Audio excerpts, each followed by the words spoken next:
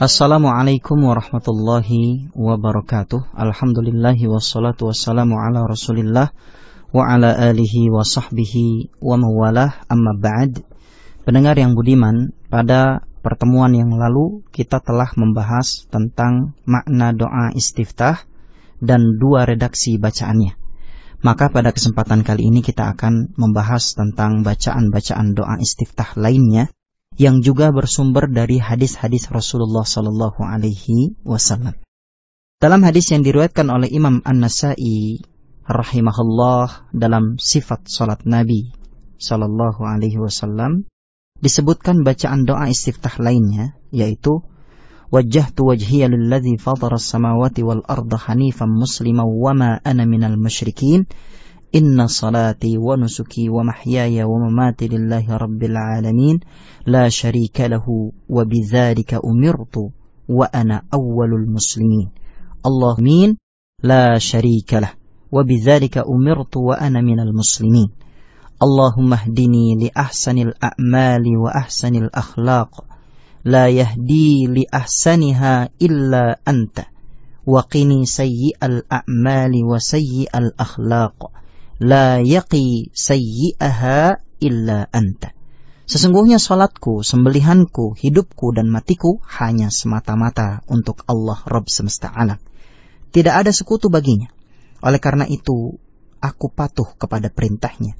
Dan aku termasuk orang-orang muslim. Ya Allah, tunjukilah aku amal dan akhlak yang terbaik. Tidak ada yang dapat menunjukkan kepadanya kecuali engkau jauhkanlah aku dari amal dan akhlak yang buruk, tidak ada yang dapat menjauhkanku darinya kecuali engkau.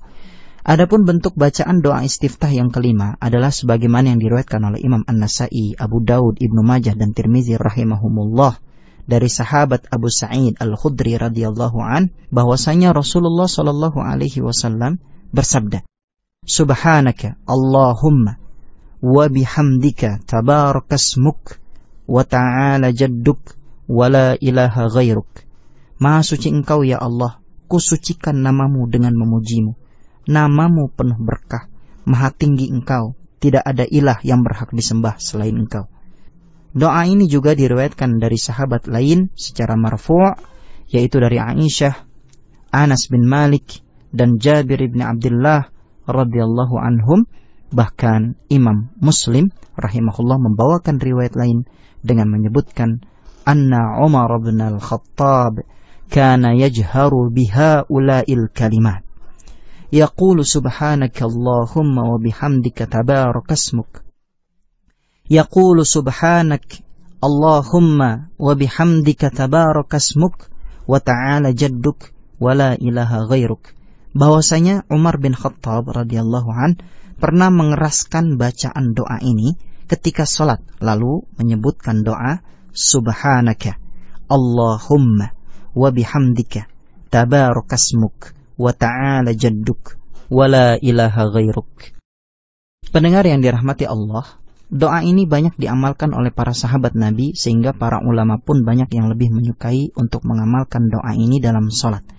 Selain itu doa ini cukup singkat dan sangat tepat bagi imam yang mengimami banyak orang yang kondisinya lemah, misalnya anak-anak dan orang tua. Selain doa-doa tadi, masih banyak lagi doa istiftah yang disebutkan dalam hadis-hadis yang sahih yang bisa kita jadikan sebagai sandaran dalam beramal. Seperti yang diriwayatkan oleh Imam Abu Dawud rahimahullah bahwasanya Rasulullah Shallallahu alaihi wasallam bersabda, "Subhanaka Allahumma wa bihamdika wa tabarakasmuk wa ta'ala jadduk wa la ilaha ghairuk. La ilaha illallah. La ilaha illallah. La ilaha illallah. Allahu akbar kabira. Allahu akbar kabira. Allahu akbar kabira. Yang artinya, Maha suci engkau ya Allah, kusucikan namamu dengan memujimu. Namamu penuh berkah. La ilaha illallah yang artinya tidak ada Tuhan yang berhak disembah selain Allah. Lafal ini dibaca sebanyak tiga kali. Kemudian Allahu Akbar kabiro yang artinya Allah Maha Besar. Lafal ini dibaca sebanyak tiga kali juga. Kemudian bacaan istiftah yang ketujuh adalah sebagaimana yang diriwayatkan oleh Imam Muslim rahimahullah bahwasanya Rasulullah sallallahu alaihi wasallam bersabda Allahu akbar kabira walhamdulillahi katsira wa subhanallahi bukratan wa asila. Allah maha besar dengan segala kebesaran. Segala puji bagi Allah dengan pujian yang banyak. Maha suci Allah baik waktu pagi dan petang. Hadis ini diriwayatkan oleh Ibnu Umar radhiyallahu an. Dalam hadis tersebut Ibnu Umar radhiyallahu anhu berkata, "Bainama nahnu nusalli ma'a Rasulillah sallallahu alaihi wasallam idz qala rajulun minal qaum fadzakarahu faqala Rasulullah sallallahu alaihi wasallam ajibtu laha futihat laha abwabus sama." Qala Ibnu Umar فما تركتهن منذ سمعت رسول الله صلى الله عليه وسلم يقول ذلك ketika kami sholat bersama Rasulullah Shallallahu Alaihi Wasallam, ada seorang laki-laki yang berdoa istiftah. Lalu disebutkanlah doa ini. Maka Rasulullah Shallallahu Alaihi Wasallam kemudian bersabda, aku heran. Dibukakan baginya pintu-pintu langit.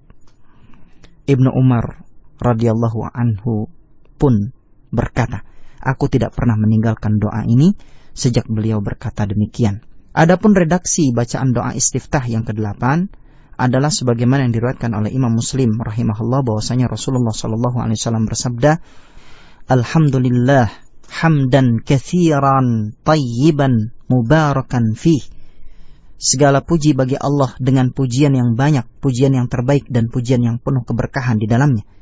Hadis tersebut diriwayatkan oleh Anas bin Malik radhiyallahu an, yaitu ketika ada seorang laki-laki yang membaca doa istiftah tersebut, Rasulullah Shallallahu Alaihi Wasallam bersabda, "Laqad ra'aitu asyara malaka yabtadirunaha ayyuhum yarfa'uha."